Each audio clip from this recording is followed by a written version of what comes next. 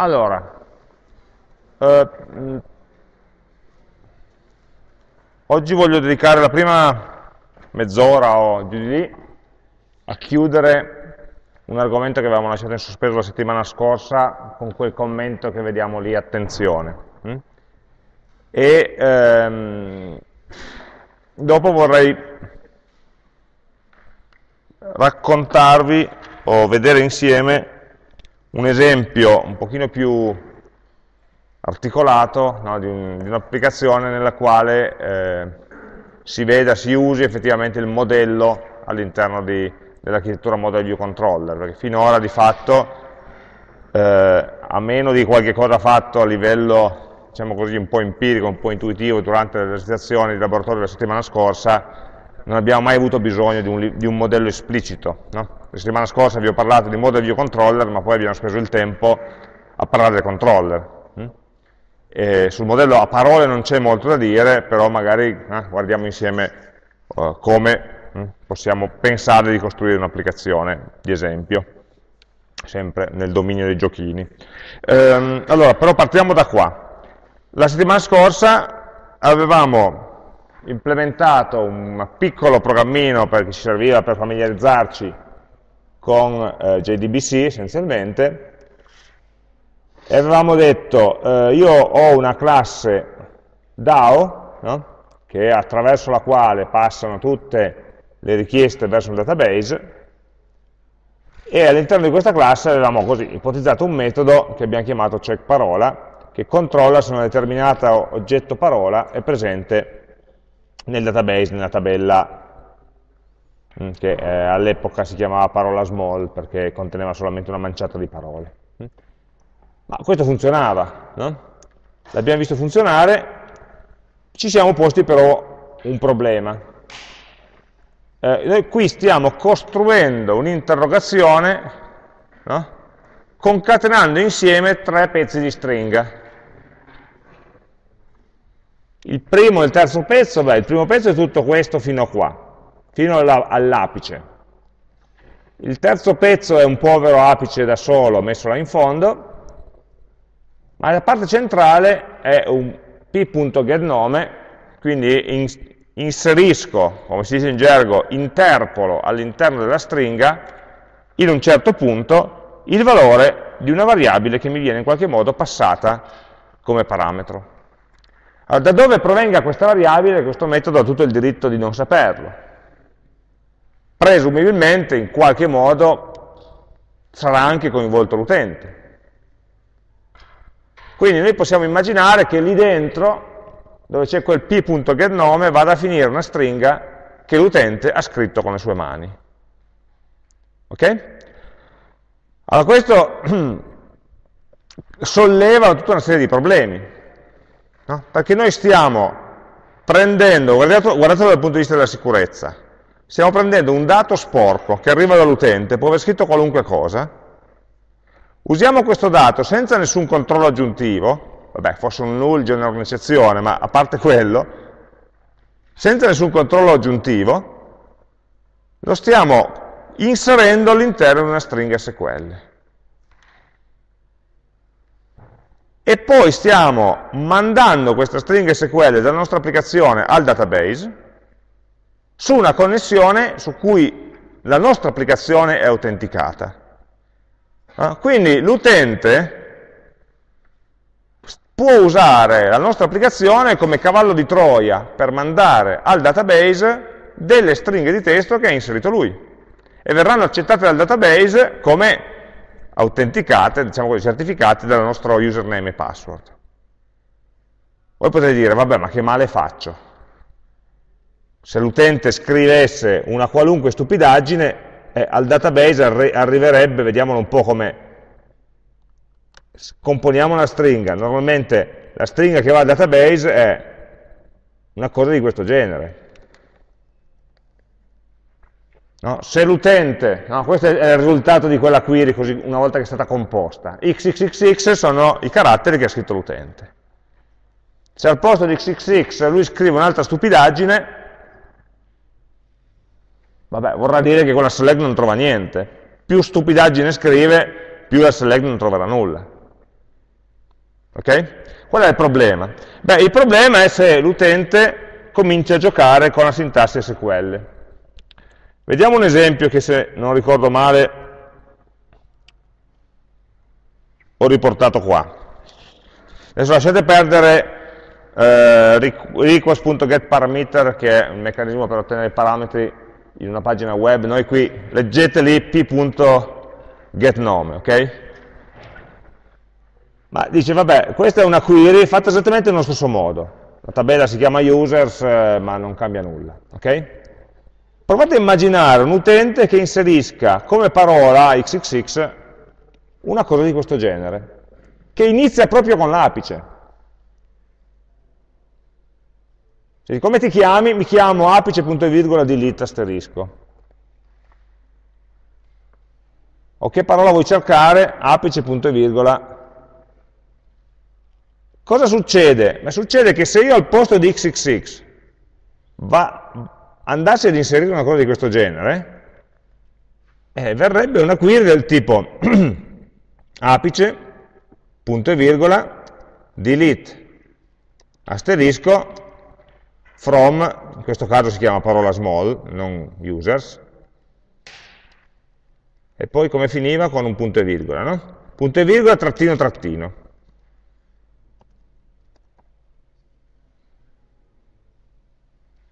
Allora, letto in SQL, cos'è questa cosa? È un'istruzione select nome from parola where nome uguale vuoto, e sarà una select che probabilmente non restituirà nulla, punto e virgola, e poi fammi un'altra cosa, cancella tutto i contenuti di questa tabella. Poi questo trattino trattino è il simbolo del commento in SQL per far sì che da quell'apice, eventualmente qualunque cosa segua, venga ignorato. Allora, è sempre la stessa cosa, l'utente ha inserito da tastiera il suo nome, sua, che è questo, p.getNome mi restituisce questo. Quando però questo arriva al database, il database non distingue che quell'apice lì, il primo, diciamo così, sul campo blu, è in realtà stato inserito dall'utente, mentre invece l'altro ha, e quindi non è proprio un apice vero che deve chiudere la stringa. Lui esegue questo come un unico comando. Quindi un utente malizioso è riuscito a modificare il comando che il database esegue, non solamente modificare la parola che cerca, ma quello è ovvio, è ciò che vogliamo, ma modificare proprio il tipo di query, creando dei danni potenzialmente forti, gravi. In questo caso avrebbe cancellato tutti i dati, tutti i dati. Cioè di peggio, potrebbe rubare i dati. No? Con una select di tipo diverso, in questo caso una select che rispondeva vero o falso, c'è oppure non c'è, ma in una query in cui che so, voglio avere l'elenco delle voci del menu per mostrare eh, nella mia videata, e lui anziché le voci del menu mi fa l'elenco degli utenti con le rispettive password, eh, perché sono riuscito a convincere il database che il risultato della query è un altro, cioè, il risultato di quella query che mi dà le password, in realtà dovrebbe darmi le voci del menu che voglio mostrare, è, uno dei modi con cui gli hacker si divertono. No?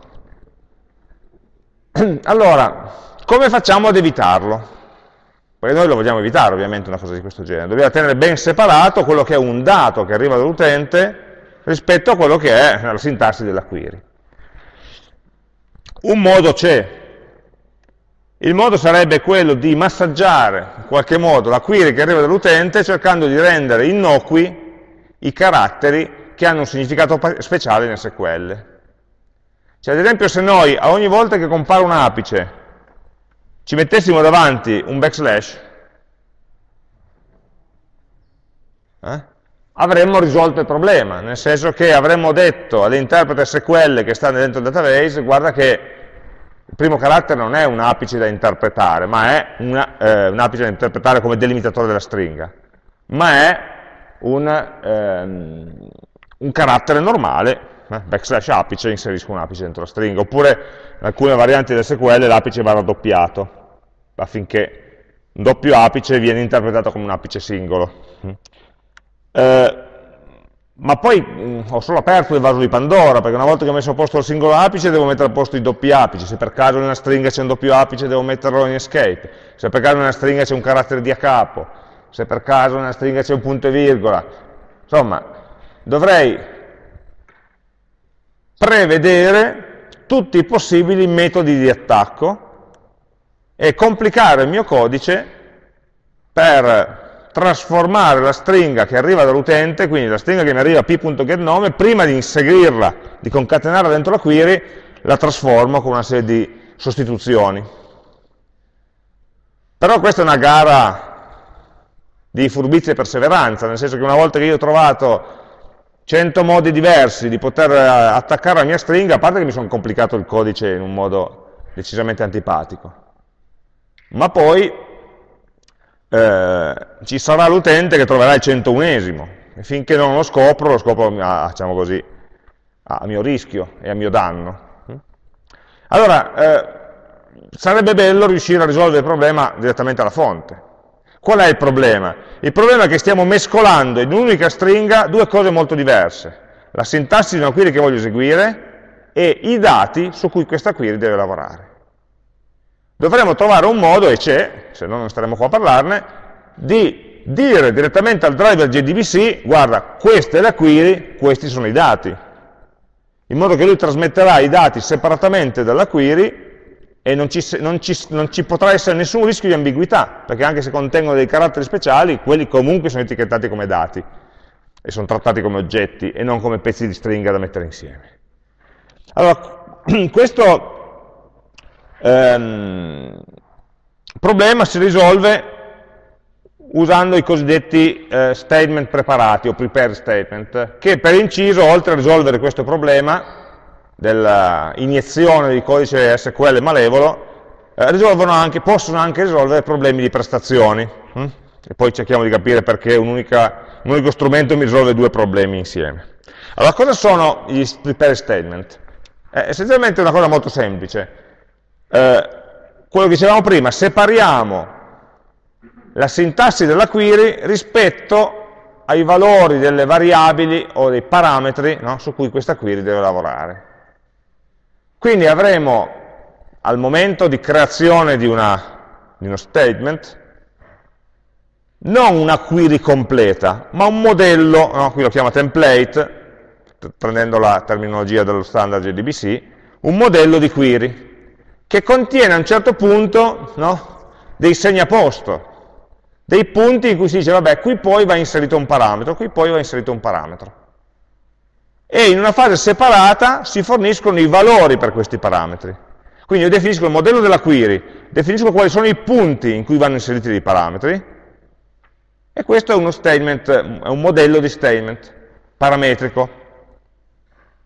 Lo definisco, non eseguo ancora, perché fino a quando non avrò i valori veri dei parametri non potrò fare nulla.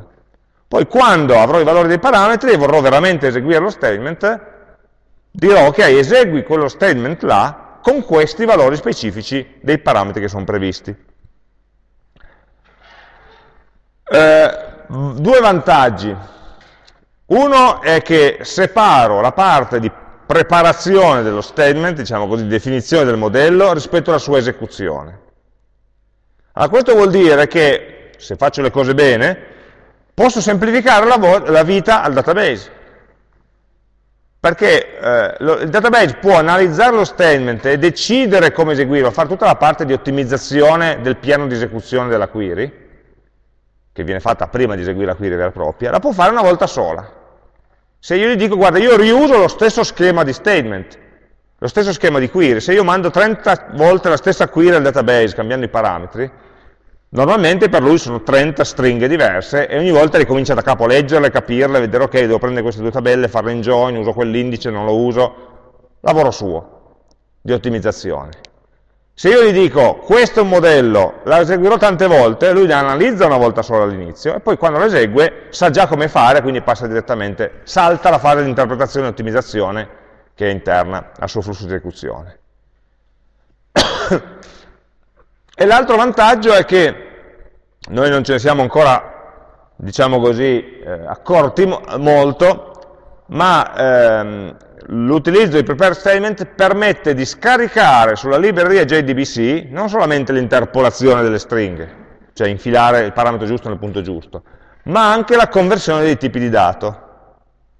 Che è una rogna inenarrabile, perché finora abbiamo lavorato solamente con stringhe, però se voi cominciate a vedere dei numeri o numeri reali, con quante cifre decimale, non parliamo delle date, in che formato le dobbiamo scrivere, giorno, mese, anno, ore, minuti, secondi, c'è da diventare cretini normalmente a prendere una data che l'utente ha inserito in un certo modo, la metto in un oggetto Java di tipo date, quindi faccio il parsing di questa data, poi una volta che ce l'ho nell'oggetto Java devo riconvertirla in stringa per poterla passare al database, la quale la memorizza di nuovo in un formato diverso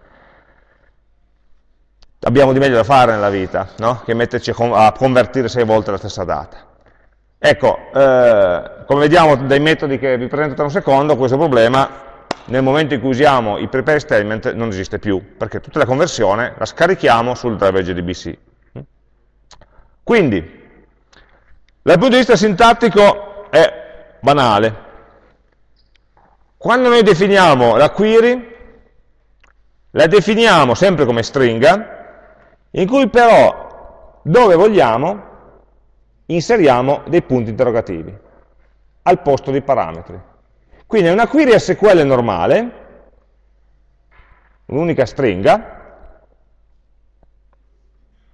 in cui possono comparire uno o più volte il simbolo punto interrogativo. Il simbolo punto interrogativo sta a indicare qui poi, questo è un parametro, il valore che sta al posto di quel punto interrogativo, è un parametro, e te lo specificherò più avanti.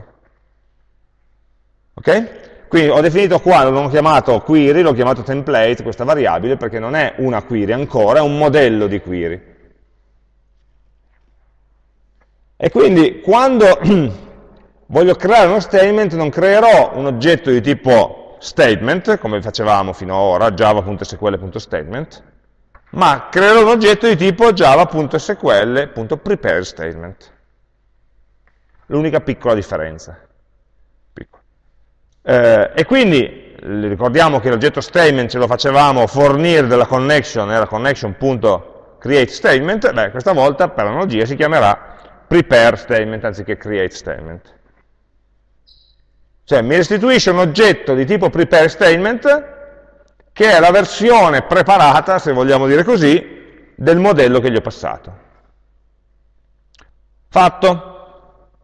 A questo punto l'oggetto statement è pronto, preparato, se non ha, qui chiaramente mm, per brevità ho tolto tutta la gestione delle eccezioni che possono esserci. E a questo punto, qui immagino ad esempio di, di avere due vettori di prezzi e di, di da inserire no? tanto per far vedere che quello statement viene, viene riusato tante volte. No? Che riassumo in queste due righe qua dicendo ok, ho un vettore di prezzi e un vettore di id da inserire, dove probabilmente saranno questi due. Allora ho un, eh, un ciclo che vuole eseguire tante volte questa query, ogni volta con dei valori diversi dei parametri. Allora, la, la preparazione della query è qua. L'esecuzione della query sono queste tre istruzioni qua sotto. Poi qui le ho messe in un loop per far vedere che si può fare tante volte, ma, ma magari spesso la useremo una volta sola. Cosa facciamo? Dobbiamo innanzitutto fornire dei valori ai parametri, dei valori attuali ai parametri formali, diremmo, se fosse una procedura. Quindi ho metodo, ho dei metodi set, sullo statement, che sono l'esatto parallelo dei metodi getInt, getString, eccetera, che avevamo sul result No? Nel result avevamo una, una riga e estra potevamo estrarre i valori di ciascuna colonna. Qui abbiamo uno statement e possiamo non estrarre, ma inserire dei valori in ciascun, non colonna, ma parametro. Quindi sullo statement dico eh, imposta il primo parametro al valore new prices di questo 1 fa riferimento al primo punto interrogativo in ordine di apparizione all'interno della stringa. Quindi avessi 7 punti interrogativi avrò 7 parametri 7 dell'1, del 2, del 3 fino al settimo. Metodo un po' grezzo per associarli però tutto sommato semplice e così come set il secondo parametro al valore record inside d di, insomma, il valore attuale che voglio passare. Questi metodi set eh, si differenziano per il tipo del dato che sto impostando. Quindi qui ho un set float a cui passo una variabile di tipo float, avrò un set int a cui passo una variabile di tipo int, avrò un set string se devo passare una variabile di tipo stringa, come nel nostro esempio di prima. Avrò un set date se devo passare una variabile di tipo oggetto date e così via. Quindi imposto dei valori attuali ai parametri dello statement preparato e poi finalmente posso eseguire lo statement. Ecco, qui notate la differenza nel caso in cui lo statement fosse stato uno statement regolare, normale, qui avremmo scritto execute tra parentesi la stringa SQL, cioè alla fase di execute o di execute query no? eh, avremmo dovuto specificare in quel punto la stringa, invece qua la stringa SQL l'abbiamo usata all'inizio in fase di preparazione, non più in fase di esecuzione. Ovviamente il metodo execute c'è il metodo execute update, il metodo execute query, no? esattamente in parallelo allo statement, con la differenza che non dobbiamo più passare la stringa ad eseguire. Allora questo ci risolve i, tutti i problemi che avevamo. No? Perché chi fa l'interpolazione al posto del punto interrogativo non è più il mio codice che concatena le stringhe assumendosi il rischio, ma sto dicendo al driver JDBC, perché poi questi metodi qua sono metodi implementati dal driver JDBC, sto dicendo guarda questo è il modello di query e questi sono i valori che gli devi inserire ci penserà lui, che è l'unico che può sapere esattamente come fare, no? a inserirli nel modo giusto. Anzi, addirittura lui li manda nel database separatamente. La concatenazione della stringa non avviene mai in questo caso, neppure dentro il driver JDBC. Lui gli manda, parla, parlando col protocollo proprietario, col database server, gli manda la stringa e poi gli manda separatamente i eh, parametri codificati come vuole lui, hm? ma in modo da non creare nessun rischio. Quindi questa è la prassi che useremo sempre, direi. Salvo quei rarissimi casi in cui una query che devo eseguire una volta sola e che non ha parametri, o i, o i cui parametri sono proprio, proprio, molto, davvero, assolutamente sicuro e certo che non arrivino dall'utente, ma magari arrivano dalla classe che ho appena fatto, però insomma perché corre un rischio. Quindi a meno di quei casi particolari in cui non ho parametri, useremo sempre questo. E anche, se vogliamo, più leggibile, più veloce, più sicuro. Fine della storia. Ehm, nel nostro caso, io la volta scorsa, ricordate che avevamo fatto anche l'altro programmino, quello grafico, che non è questo. Eh, e che cercava le parole, e io ho già usato questa tecnica qui. No? Quindi a differenza del DAO che abbiamo appena visto, di fatto sono due metodi che fanno la stessa cosa, però questo lo fa con lo statement normale, quindi interpolando il nome, e abbiamo visto che non ci piace. Con create statement, execute query.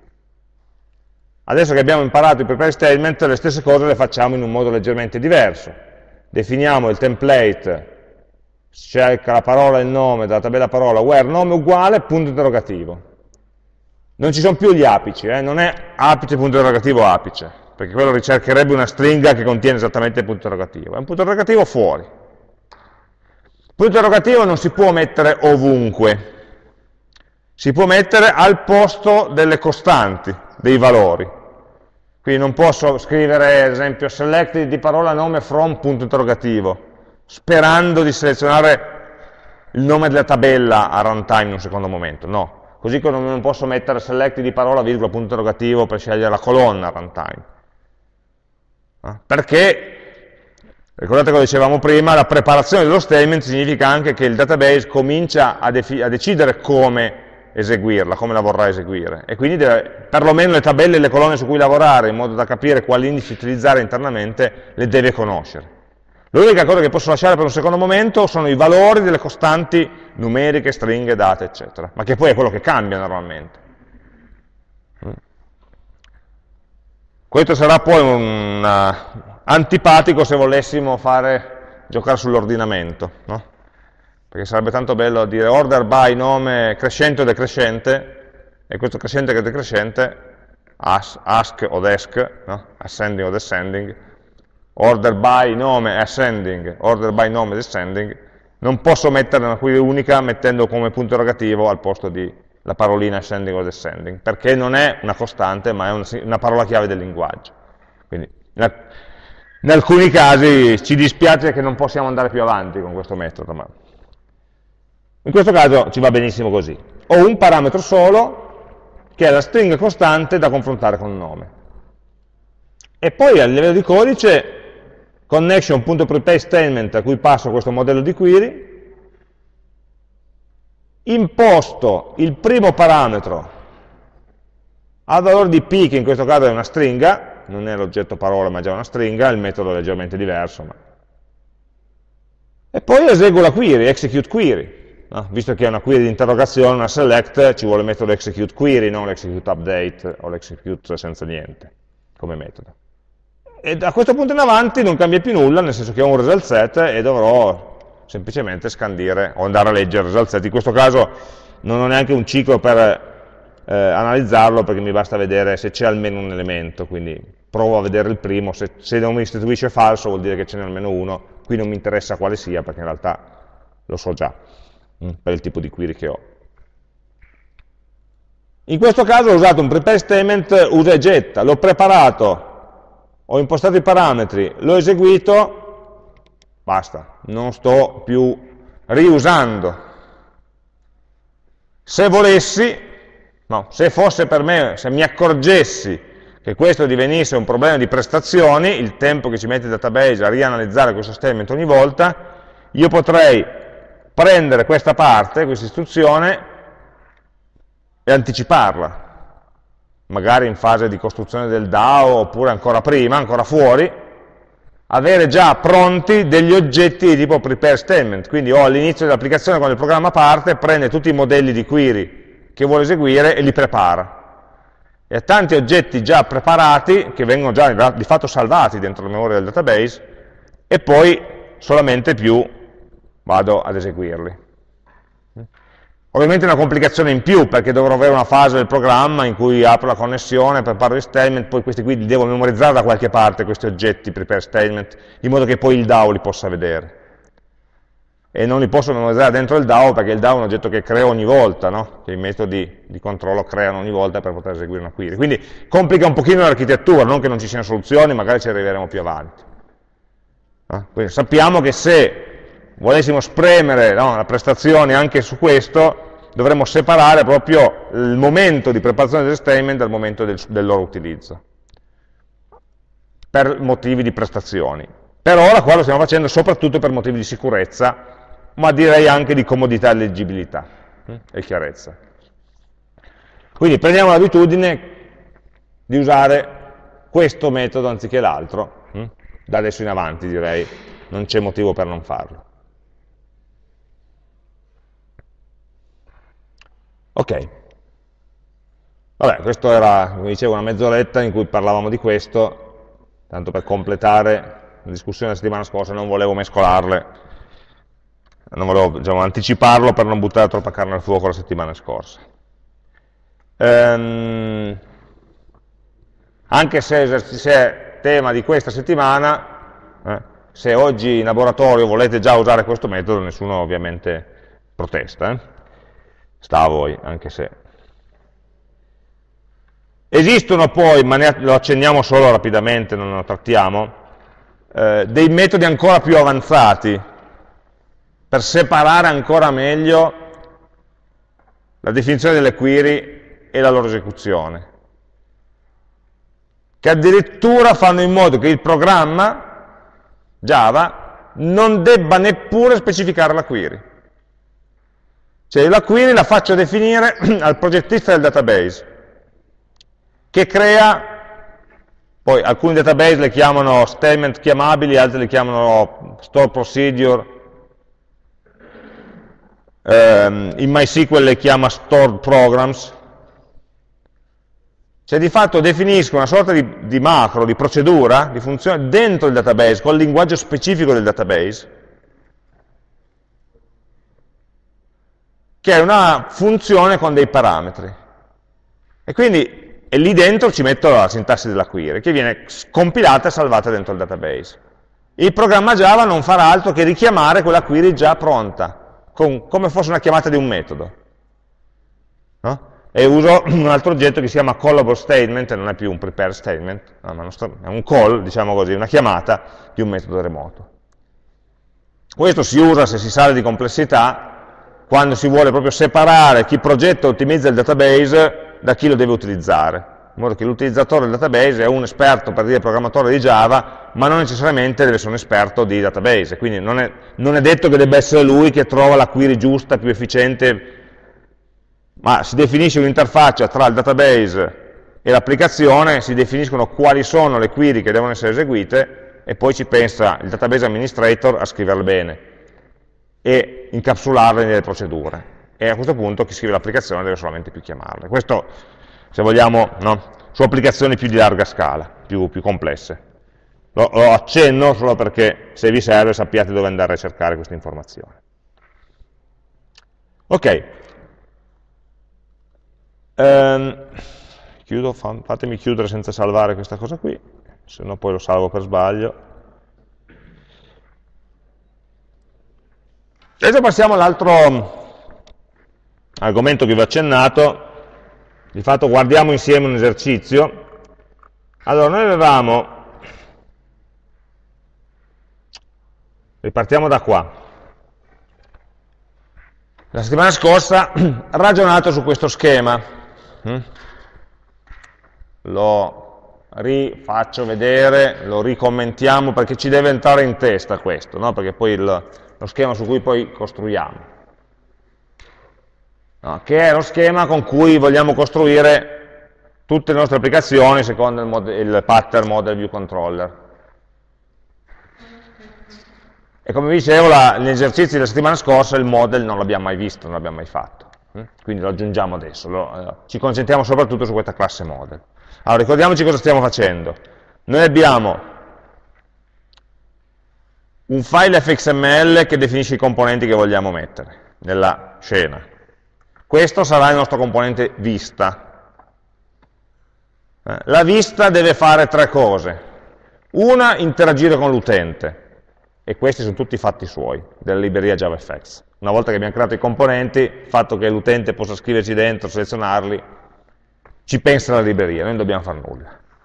Poi deve fare altre due cose invece che ci interessano. Uno è informare il controller quando l'utente ha fatto qualcosa di interessante per il controller, cioè su cui il controller si sia abbonato a qualche evento.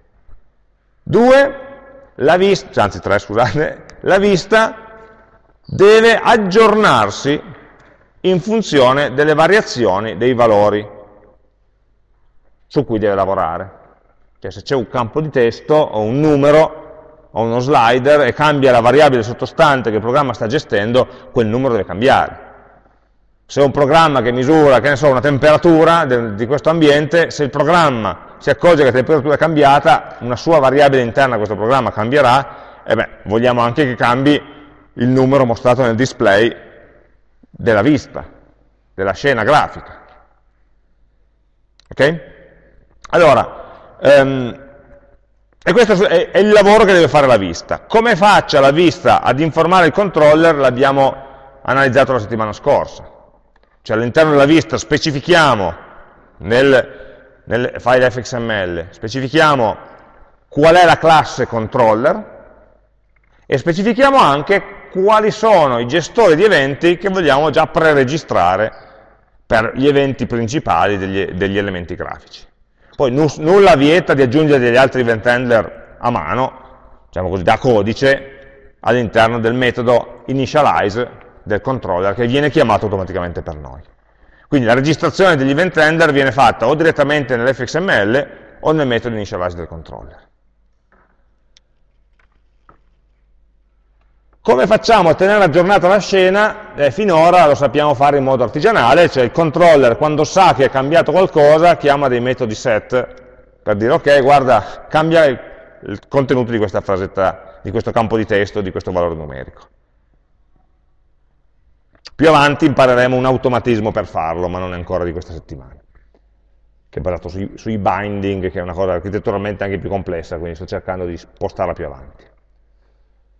Dove c'è il modello? Il modello è la classe, o l'insieme di classi, ma per semplicità pensiamo in una sola, che conserva tutti i dati di lavoro del programma. È quello su cui girano gli algoritmi, gli algoritmi veri di, di, analisi, di ricerca, di ordinamento, quello che volete, sono tutti o, dentro il modello, oppure nel caso in cui diventino, diventino complessi, in classi che fanno riferimento al modello, che usano il modello. Il modello è la parte pura dell'applicazione, quella che contiene i dati e quella che, i cui dati servono per far girare gli algoritmi, su cui girano gli algoritmi. La parte modello non conosce nulla di grafica, non conosce nulla dell'utente, non conosce nulla degli eventi. Meglio, no? Nel senso che se lì concentro la parte algoritmica e la conoscenza dei dati, Oggi potrei risolvere il problema con un'interfaccia grafica JavaFX, domani la potrei risolvere con un programma via console, via testo, così lo faccio girare di notte, senza un utente davanti, dopodomani potrei incapsularlo dentro un'applicazione web e quindi l'interfaccia sovrastante, il modello e il controller saranno completamente diversi. La vista e il controller saranno completamente diversi. Ma il modello e la parte algoritmica me la tengo sana, no? senza nessuna dipendenza rispetto al modo e quindi il modello è qualcosa che l'applicazione principale crea e il controller usa. No, il nostro caso semplice è il controller che usa direttamente il modello. Nei, nei, casi più complessi a cui arriveremo avremo il controller che attiva un metodo di una classe algoritmo la quale lavora sul modello. No, in questo caso le operazioni che dobbiamo fare sono talmente semplici la cui logica è o dentro il controller o dentro il modello stesso. Mm? Allora, come, come lo realizziamo questo meccanismo? Beh, allora abbiamo detto chi deve conoscere chi. Il controller deve conoscere sia la vista che il modello. L'applicazione, anche l'applicazione main, essenzialmente deve conoscere tutto. La, la, vista, la scena la conosce perché è il main che chiama il loader fxml. Il controller lo deve conoscere, l'applicazione, perché si deve poter parlare insieme, se non altro per inizializzarlo, ma se non altro per passargli il riferimento al modello che l'applicazione principale ha creato. E quindi il, il controller deve al suo interno avere normalmente, no, questo è il pattern normale, il controller conosce un riferimento al modello, non lo crea lui ma lo conosce. Ricordate l'esercizio della settimana scorsa dove c'era quella lista, no? l'ultimo esercizietto in cui vi diceva aggiungi un bottone crea. E chi cacchio lo crea, quella lista nuova? Eh, non c'era mai un posto giusto dove crearlo, no? perché se lo facevi nell'applicazione principale poi gli event handler non erano nel thread giusto. Se lo facevi dentro l'event handler, eh, poi dopo quella variabile lì veniva persa perché quando l'event ritornava non c'era modo di modificare la variabile sovrastante. E la soluzione è questa. Un oggetto di modello che contiene al suo interno la lista. E questo oggetto è esterno, usato dal controller, ma è esterno al controller. Mm? Allora, io voglio, eh, quell'esempio della settimana scorsa però è troppo semplice per, per poter ragionare su questo, no, questo ragionamento ci serviva, però voglio, vorrei aiutarci a capire questo ragionamento con un esempio un, un pochino più complicato. No? Cioè, ho pensato a questo esercizio qua, eh, gioco dell'impiccato, adesso non so se non si riesce a ingrandire, non ho pensato alla proiezione. Quindi ho fatto una piccola applicazioncina, conoscete tutti, no? il giochino dell'impiccato, c'è una parola segreta da, da scoprire, e un certo numero massimo di errori che poi promettete di fare, non ho fatto tutta la parte grafica ovviamente, ma io posso scegliere una lettera dell'alfabeto, supponiamo che ci sia una H, non è un gran tentativo iniziale ovviamente,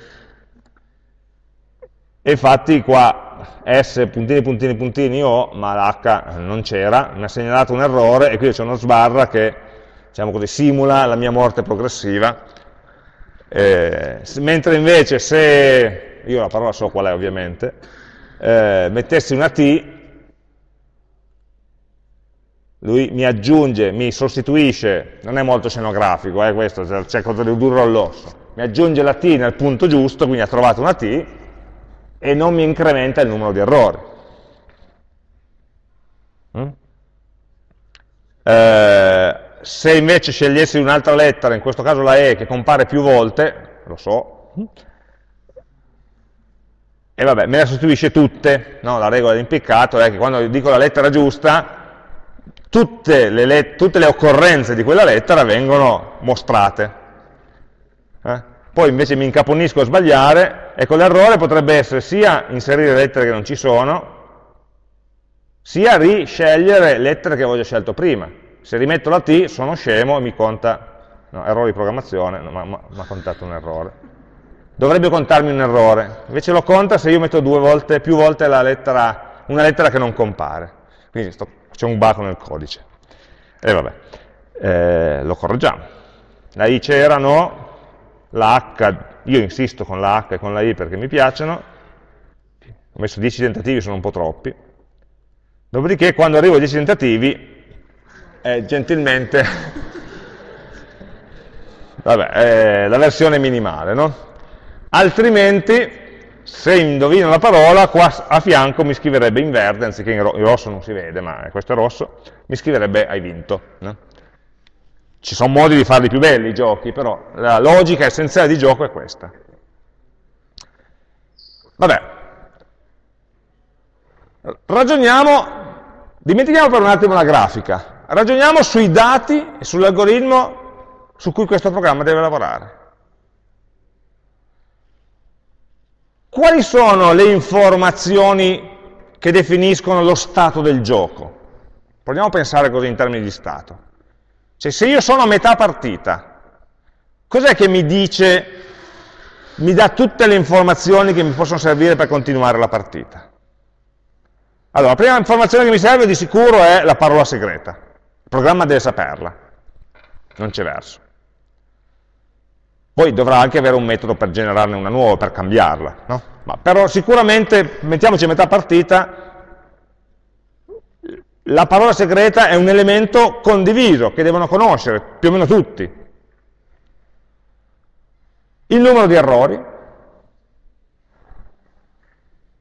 il numero di errori che ho fatto finora deve essere noto. In qualche modo deve essere noto anche il numero di errori massimo che posso fare, perché sennò il programma non saprebbe quando dire è finito. Altro?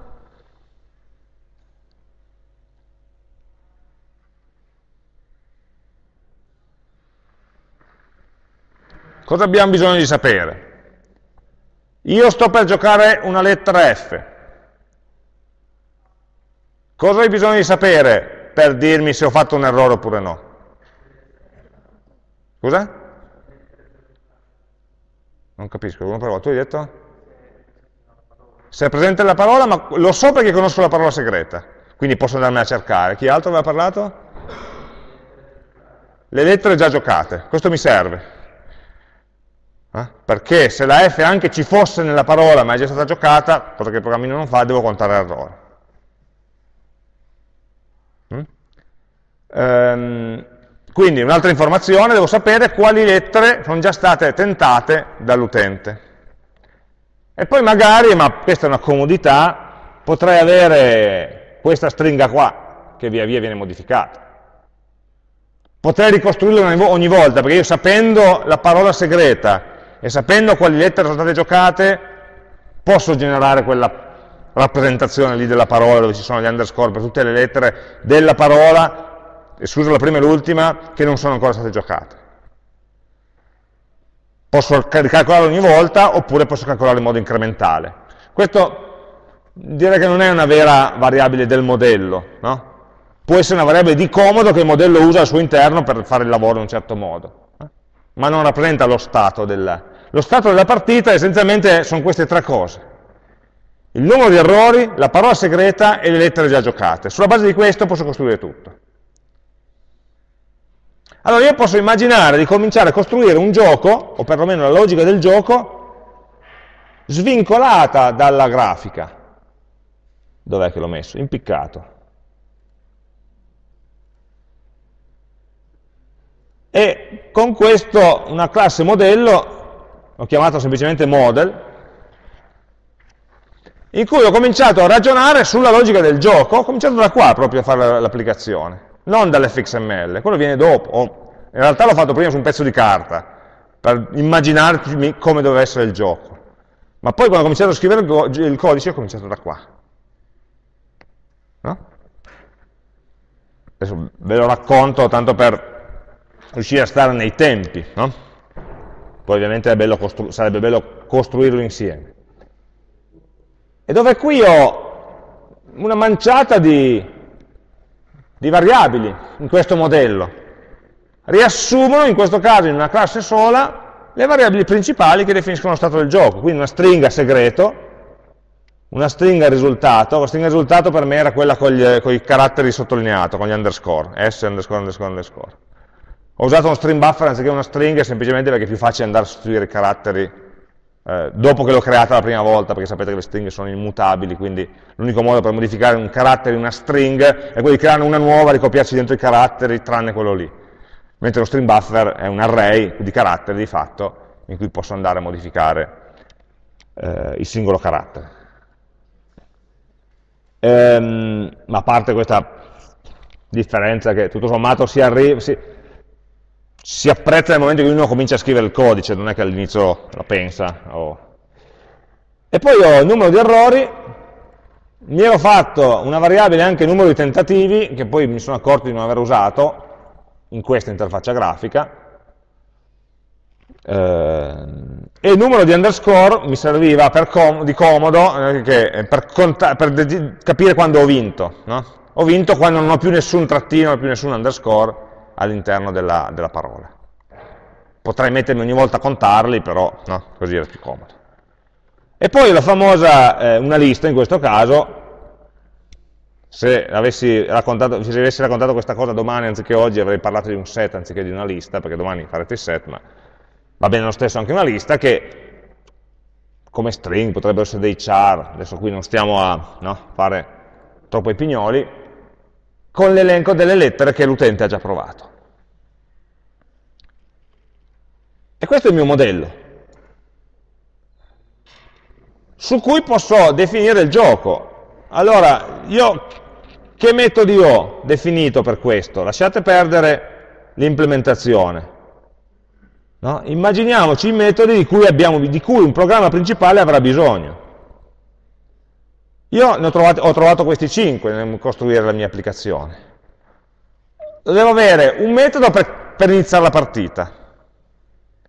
L'ho chiamato new match a cui passo la parola da indovinare. Non è il modello che deve crearsela da solo no? Perché non, non, sappiamo, dipende, su questa classe noi vogliamo poter implementare le regole del gioco un pochino che vogliamo, per cui potrebbe essere un gioco a due giocatori, no? come quello vero che facciamo su carta quando qualcuno spiega lezione, eh, in cui un giocatore inserisce la parola segreta, poi cambiamo scena, la nascondiamo e l'altro giocatore deve indovinarla, quindi in questo caso il new match viene fatto con una parola inserita dall'utente. Oppure potremmo giocare da soli contro il computer, e allora qualcuno, che ne so, leggendo il nostro database, dizionario, no? che abbiamo visto la volta scorsa, sceglie casualmente una parola di una certa lunghezza e poi inizializziamo il gioco con quella. Per la logica della partita è indifferente da dove provenga la parola. Quindi io l'ho lasciato fuori. Semplicemente un metodo new match che mi inizializza le variabili di gioco, lo stato della partita, a una partita nuova iniziata con quella parola segreta. E poi l'altro metodo di gioco è try, no? prova con questa lettera. Prova con la A, prova con la F, prova con la Z, prova con la K. E lui aggiornerà, ovviamente, le variabili di gioco in funzione di quel tentativo, rispondendomi anche con un booleano del tipo sì, no, è andata bene, è andata male. Adesso dobbiamo correggere questo perché siamo accorti che non conta errore quando dovrebbe. E poi un paio di metodi di comodità, is winner o is dead, mi dicono guarda questo qua ha vinto, Hai indovinato la parola? Oppure hai esaurito il numero di errori possibili? Il numero di errori possibili che in questo caso è definito come costante dentro il modello, ma potrei anche metterla fuori, farla definire, ma numero di errori max. Poi per comodità ho anche un metodo getErrorProgress che mi restituisce la percentuale di errori rispetto al massimo come numero reale tra 0 e 1 e serve per alimentare questa barra di progresso che vuole no? che per colorarla devo dare un, numero, eh, da, un double tra 0 e 1, 0 vuoto, 1 pieno e i valori intermedi la disegnano. No? Questo qua è il, è il mio modello. Poi, vabbè, poi ho dei getter e setter, ma sono quelli standard. Potrei forse anche non averli. Tipo un get segreto, l'applicazione deve poter leggere il segreto, ma forse, non so. Ma li ho messi per tranquillità, se mi dovessero servire li uso.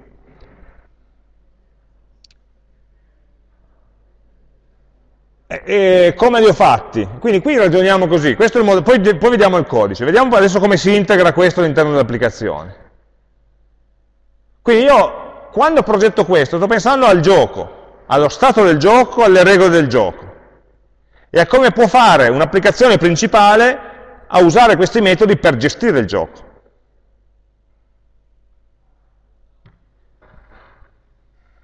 Ma la potrei immaginare, potrei provarlo con un'applicazione via console, tranquillamente. O ci metto un main qua dentro di prova per fare un test di questa classe prima di, di, di vestire un'interfaccia grafica, oppure un'altra classe, un'altra applicazione. Questo è indipendente da come lo implementerò, ok? Questa è la forza del modello. Incapsula i dati, lo stato, i valori, senza preoccuparsi di, dove, di chi li utilizzerà. E chi li utilizzerà? Eh, li utilizzerà il, nel nostro caso l'applicazione grafica. Quindi io ho, lo vediamo qua, una classe principale e una classe controller che completano eh, l'applicazione, oltre ovviamente l'fxml che mi fa da vista. No, l'fxml, vabbè, eh, l'abbiamo visto in funzione. La classe principale, come sempre, opla, perché me la fa così?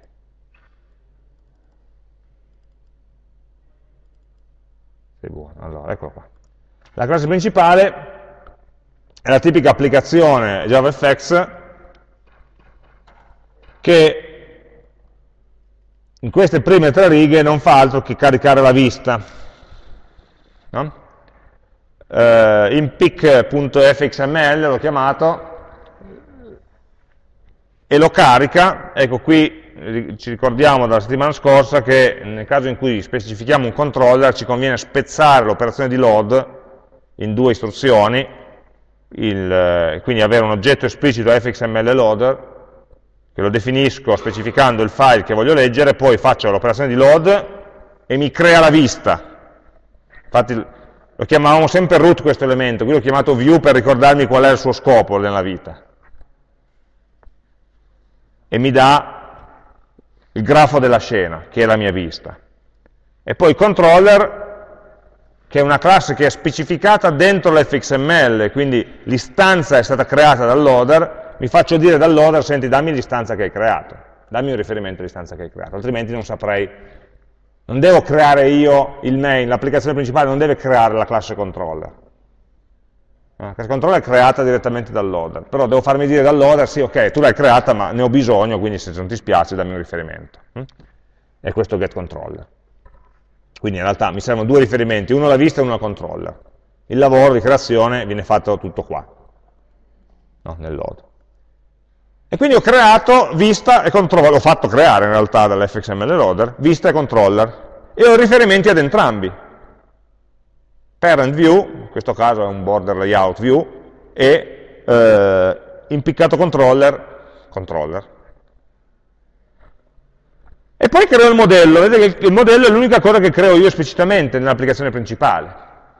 L'applicazione principale registro l'applicazione, quindi deve prendere le cose e metterle in contatto, prendere i vari attori e metterli in contatto. Quindi creo l'oggetto di tipo model, che è quello che abbiamo appena visto, e comunico al controller chi è il modello su cui lui deve lavorare. Controller.setModel. Così tutti gli event handler interni al controller sapranno qual è il modello su cui devono lavorare, non si devono preoccupare gli event handler di creare nuovi dati, creare nuove strutture dati, eccetera, ma devono semplicemente delegare al modello le operazioni sui dati. Il controller non ha memoria,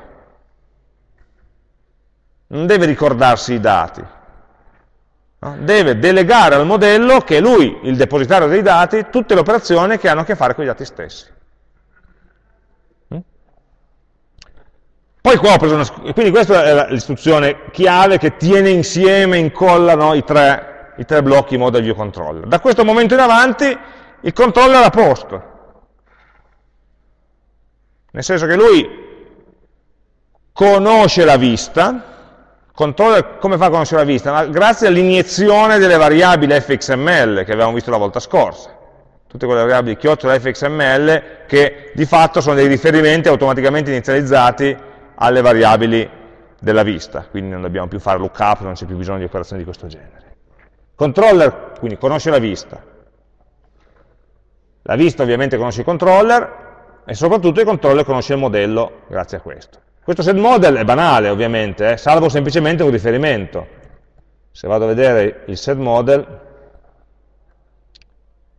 eh, qua, è semplicemente un setter, si salva il modello in modo che gli event handler, gli event handler più tardi lo possano contattare.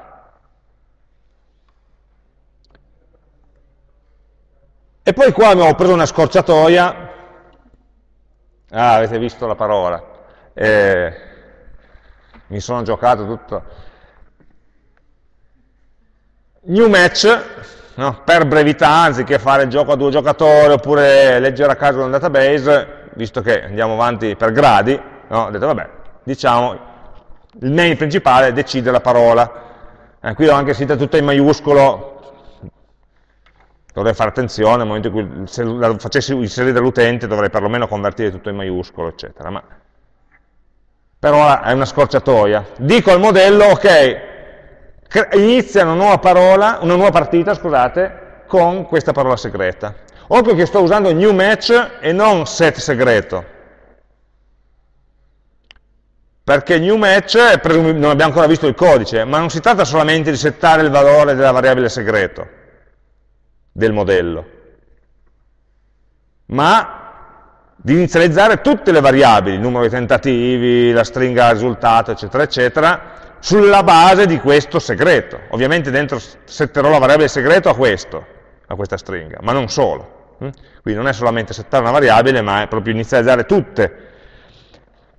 Non l'ho fatto a livello di costruttore, avrei anche potuto fare un costruttore che quando costruisco il model gli passo la parola da indovinare. Ma così facendo avrei impedito la possibilità di fare più partite. Mentre io voglio, in qualunque momento, adesso nell'interfaccia non c'è nulla che lo richiami, ma in qualunque momento dico, beh, comincia una partita nuova. Allora, una partita nuova significa semplicemente fare un new match, una nuova partita, a cui gli passo una nuova parola da indovinare. No? Quindi disaccoppiamo le varie cose. È una classe semplice, quella del modello, però è stata, ho cercato di pensarla in modo aperto, in modo che poi possa essere usata in modi diversi a seconda di come vogliamo costruire l'applicazione sopra. Ok, vabbè, poi c'è il print line solamente per debug, che sono qua sotto, e eh, vabbè, alla fine ho le solite operazioni per incollare la scena allo stage, quindi io avevo la view che era l'elemento root, l'elemento radice del mio grafo della scena, creo una nuova scena con questo elemento root e la appiccico allo stage che è stato creato per me, ma solite cose, standard. E poi c'è lo show dello stage, e qui, e qui parte l'applicazione vera e propria. Questo qui lo vediamo tra un secondo. E il controller? Ma il controller è tutto sommato è il più facile di tutti, nel senso che per, metà, per una buona metà è generato automaticamente dall'fxml, quindi qui ci sono eh, progress bar error bar è riferimento a questo oggetto dell'interfaccia grafica. Sono tutti gli oggetti a cui abbiamo dato nel, nel, nello sim builder, no? nel, nel, nell'editor grafico, a cui abbiamo assegnato un attributo fxid. A tutti gli oggetti a cui abbiamo assegnato l'attributo fxid vengono, quando generiamo lo scheletro del controller, iniettati come variabili. Error num è questo casella di testo, lettera è questa combo, anzi questo choice box, parola out è questa sotto, questa casella di testo qua, e poi ho due etichette, label morto e label vinto, che non si vedono ma ci sono sempre entrambe, una con scritto sei morto, l'altra con scritto hai vinto, semplicemente le ho impostate in uno stato non visibile. No? Quindi quando devo mostrare dei messaggi del genere, piuttosto che farli creare dinamicamente dall'event handler, è più comodo già crearli prima a livello di fxml e poi semplicemente mostrare o nascondere. Mm? Adesso vediamo come. Quindi questi sono tutti 1, 2, 3, 4, 5, 6 elementi, 1, 2, 3, 4, 5, 6. No? Sono 3, 4 visibili e 2 etichette sei morto hai vinto. Iniettati direttamente qua. Poi ho il metodo initialize, che deve solamente fare un piccolo lavoro di popolare questa choice box. No? Voi quando create una choice box nell'fxml ci mette dentro item 1, item 2, item 3.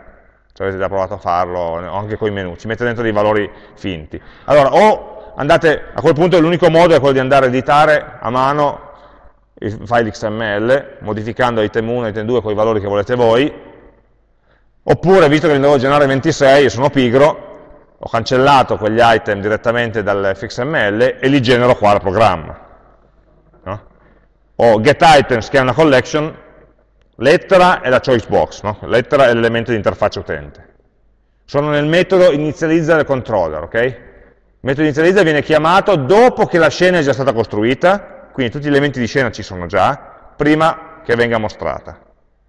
Allora lì è il momento in cui posso fare i ritocchini, aggiungere gli elementi, aggiungere gli event handler e cose di questo genere.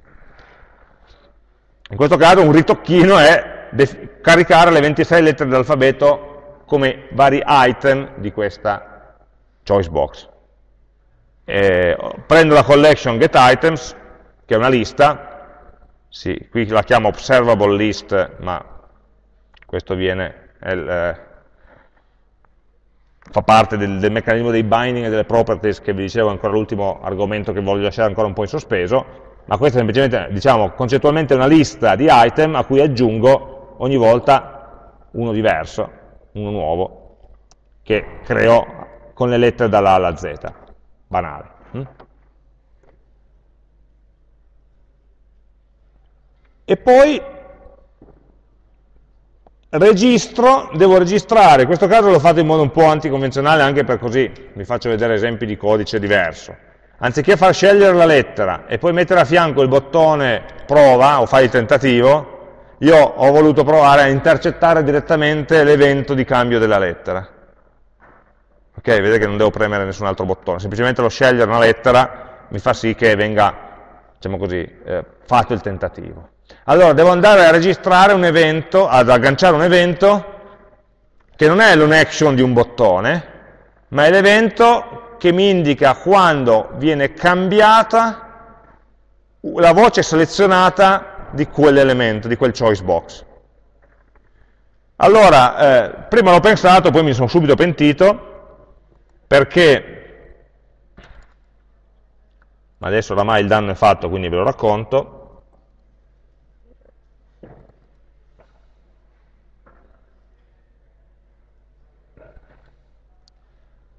uno si aspetterebbe di trovare tra i metodi, no, questo qua è il nostro fxml, questa è la mia choice box, uno dice vabbè andiamo a vedere qual è l'evento che devo intercettare. Um, e purtroppo non c'è quello che vorrei, nel senso che quale evento dovrei intercettare? Ma qui ci sono tutti gli eventi sul mouse, anzi sul drag and drop, ma in questo caso, in questa applicazione drag and drop non mi serve, quindi lo posso ignorare. Ho gli eventi sulla tastiera, key pressed, beh sì, potrebbe essere un key typed, nel senso che se l'utente volendo, credo che funzioni, non ho provato, se vado qua e scrivo R, non funziona, non funziona. Però potrei volerlo farlo funzionare, in questo caso non è previsto. Potrei dire, ok, se l'utente ha comunque il focus su questa casella e preme una lettera, l'ho imposto, quindi potrei volerlo intercettare, ma potrei anche voler intercettare il mouse. Un mouse clicked, o un mouse released, o un mouse pressed, eh, quale evento? È un po' una palla perché io il click lo faccio due volte, quando apro e quando seleziono.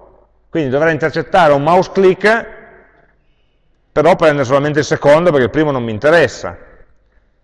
Eh, il problema qual è? Che questi eventi che ci sono qua, no? poi la rotazione, lo swipe non ne abbiamo perché non abbiamo interfaccia a tocco qua. Il problema è che questi sono eventi principalmente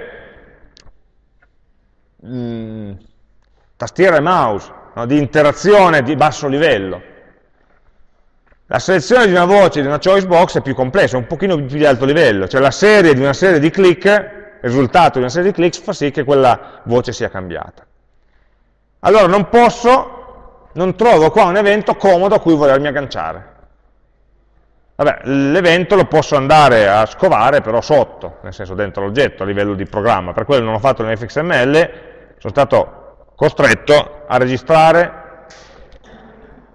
l'event handler direttamente in Java. Adesso eh, il metodo chiave è questo, add listener. Aggiungi un listener, un, un event handler, no? un ascoltatore, a che cosa? Alla variazioni della cosiddetta selected index, una delle proprietà. Adesso questo codice qui, per essere completo, richiederebbe che, no, dopo che vedremo le property lo capiremo fino in fondo. Per ora ve lo voglio solo portare come così, esempio, ma prendo la lettera che è la choice box, al suo interno una proprietà che si chiama selected index. Io voglio che, che indica che cosa questo selected index? Indica qual è la lettera che è stata selezionata, come index, quindi 0, 1, 2, 3, 4, 5, come numero d'ordine. Tutte le volte che questa proprietà cambia, io voglio essere informato. Un metodo un pochino più di basso livello, un pochino più interno al funzionamento della libreria, impareremo a gestire meglio anche noi queste proprietà. Per il momento ciò che ci interessa capire è che registro un gestore di evento, punto. No? Lo faccio in un modo un pochino più complicato perché non è un evento di quelli di interfaccia che sarebbe più semplice da creare come abbiamo fatto finora. E un nuovo letter change listener. Cioè un listener, questa è la classe mia, è letter change listener, lo, faccio, lo, fa, lo creo io, che eh, viene chiamato, una nuova istanza di questa classe, che viene chiamata ogni volta che l'utente cambia la lettera selezionata. E quindi di fatto sta facendo un nuovo tentativo. Questo qui è... Dove la metto questa classe? Dove la creo? Ma posso crearla dove voglio, ovviamente. È una classe che in qualche modo collabora con il controller, contiene un event handler e ops, ha bisogno per lavorare di accedere a buona parte delle informazioni note al controller. Ad esempio questa classe deve poter chiamare il metodo try, try lettera. Eh? E il metodo try lettera è dentro il modello, e il riferimento al modello chi ce l'ha? Il controller. Allora io a questa classe dovrei passare tutta una serie di, così come diciamo, questa classe dovrà aver bisogno di contattare gli altri elementi dell'interfaccia utente per aggiornare il numero di errori, per aggiornare se hai vinto, se sei morto, eccetera. Allora dovrei passare a questo event lender tutta la conoscenza che ha il controller. Lo posso fare in tanti modi, posso passare un'istanza di controller, un'istanza del, del model, alla classe event handler. Nel costruttore, così come gli ho passato questo qua è che la choice box stessa. Oppure c'è un altro modo, che vi accendo perché non so se l'avete mai incontrato, che era quello di creare, che è quello, e si fa molto spesso con gli event handler, di creare una classe annidata, una inner class si chiama in Java. Non so se avete mai incontrato questo modo di costruire classi. Probabilmente con Swing. Questa è la mia classe controller. La classe event handler, event handler la definisco dentro alla classe controller. Qui sono dentro le parentesi graph della classe controller, dentro il file controller. Io qua dentro in Java mi è permesso definire una nuova classe, che è una classe annidata, interna alla classe controller. È una classe come tutte le altre, ma vive lì dentro.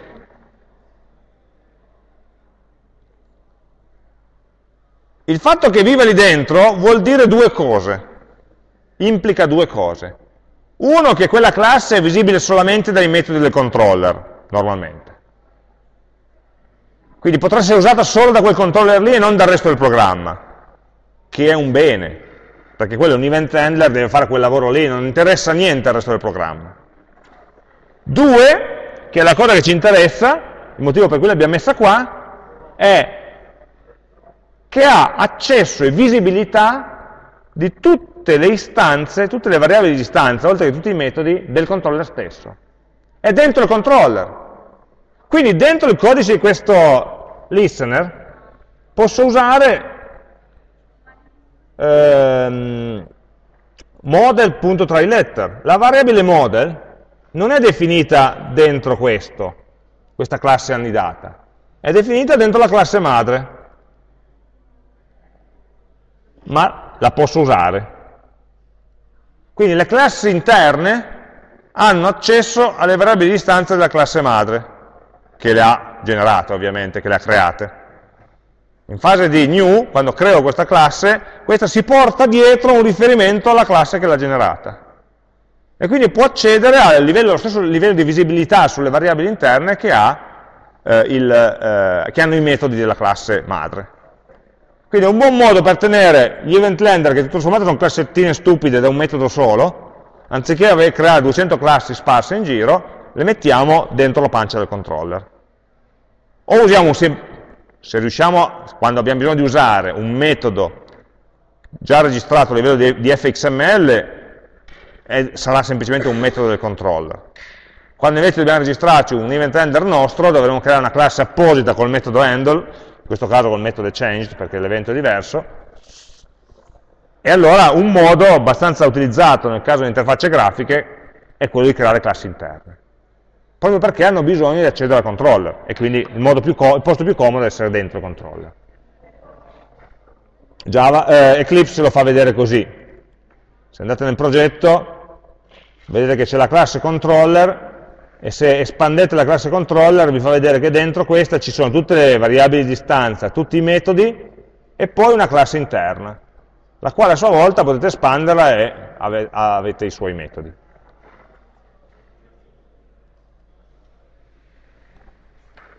Cosa fa l'event handler?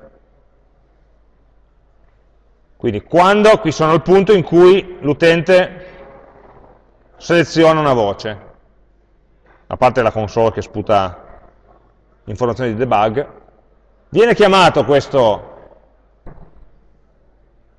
gestore, il metodo change di questo gestore di evento, a cui viene passato di fatto il valore vecchio e il valore nuovo che è stato scelto dall'utente, visto che è una variazione. A me il valore vecchio non interessa, mi interessa il valore nuovo, ed il valore nuovo in realtà me lo passa come numero, numero da 0 a 25, io voglio co conoscere la lettera corrispondente. Allora lo vado a chiedere a the list, che di fatto è la lista di voci della choice box. No, io avevo messo dentro quella lista le lettere dalla alla Z, in ordine. Lui mi dice, l'utente ha selezionato la quinta. Allora io chiedo la lista dicendo, senti, qual è il valore del quinto elemento? Anzi, se mi dice 5 è il sesto elemento, perché partono da 0, e lo uso qua. Quindi new value.inValue mi dà il valore intero della posizione, thelist.get dammi l'elemento che è una stringa che è la posizione 5. No? E quindi quando l'utente seleziona il quinto elemento, io voglio però in realtà sapere che quello è una R, eh, no, il quinto elemento è un F. L'elemento numero 5, che è il sesto, è un F. E quindi estraggo la lettera, ma questo se vogliamo è andare a estrarre il valore, e poi il vero lavoro che fa questo è chiamare il metodo tryLetter del modello, fai la mossa. Quindi l'event handler è stato chiamato perché l'utente ha scelto una voce, Qui, vabbè, lavoro un pochino per capire qual è la lettera selezionata dall'utente e poi la passo al modello. Il modello farà le sue cose. E poi chiamo questo metodo updateView, che è un metodo del controller, che non fa altro che andare ad aggiornare tutti gli elementi di interfaccia grafica sulla base dell'esito della mossa corrente. Quindi try letter che viene chiamato direttamente dal, dall'event handler fa la mossa effettivamente. Poi dal del view dirà, va bene, allora devo aggiornare eh, l'error num, la casellina con il numero di errori. Cosa ci metto dentro? Ci metto model.get numero di errori. Chiedo al modello qual è il numero corrente di errori? 10 allora metto 10 in quella casellina di testo. Chiedo al modello qual è la percentuale di morte? 0,7, la metto nell'error bar. Set progress è il metodo. Eh, la parola get risultato è quella con i trattini sotto, e, e poi ho le due label, label morto, label vinto, su cui lavoro sull'attributo visibile, set visible vero, set visible falso, e mi faccio dire se deve essere visibile o no dal modello. No? Quindi quello che dicevamo, la vista informa il controller, il controller chiama il modello affinché lui modifichi i dati. E poi c'è il percorso inverso, che il controller interroga il modello per prendere dei dati che vanno ad aggiornare la vista, dopo la mossa. Quando vedremo il meccanismo di binding vedremo che buona parte di questo può essere automatizzato, quindi non deve farlo esplicitamente il modello, però ora lo facciamo a mano. Ok? Quindi questa è un po' la logica, cercare di separare bene quello che sono le operazioni sui dati da fare dal riuscire a farle richiamare dall'interfaccia utente, che poi nasconde 2000 piccoli trabocchetti o difficoltà proprio dovute alla libreria JavaFX ma la logica del gioco, che non abbiamo visto perché quei due metodi try e, ehm, e qual è l'altro? Sì, essenzialmente il try e il new match non ve li ho aperti, adesso vi, vi lo potete scaricare, ve lo potete guardare, ma quello è codice Java semplice. Mm? Ok, quindi proviamo a imparare un po' questo metodo.